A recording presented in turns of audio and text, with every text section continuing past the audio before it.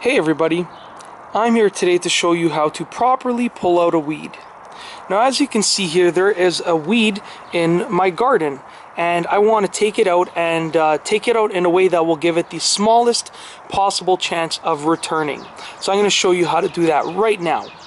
So as you can see, the weed is right here and it looks pretty big, but if you'll notice, if I lift up the, the leaves over here, you'll see that the root is very small. I mean, it, it flourishes out, but the center is right over here. So what you're gonna wanna do is dig around the center. So you can use a shovel, but I'm just gonna use my hand. Dig around the center, and this will sort of allow you to get to the root of it, which is what you wanna get to. So as you can see, I'm just, I'm literally just digging around the center, okay? Just going a little bit deeper.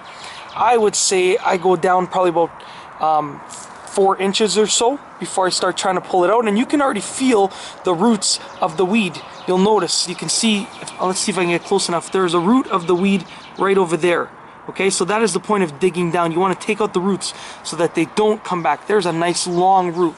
So you continue digging down around the center of the weed like that.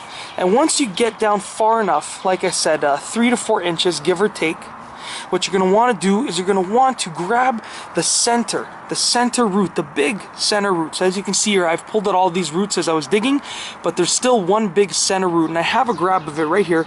It's very hard to see, but you'll see when I pull it out. There's a big root in the center. I'm going to literally take that root, grab a very strong hold of it, and I'm just going to slowly but surely pull it out, just like that. As much of it as possible, okay? I pulled out the center root and there's just one little root left right over here. So I'm just gonna get that out of there just like that. And then once you're done that, you can lift the weed out. And as you can see, instead of just pulling off the top of the weed like most people do, I've taken the extra time to pull out the root of the weed. And this gives it the least, the smallest possible chance of returning.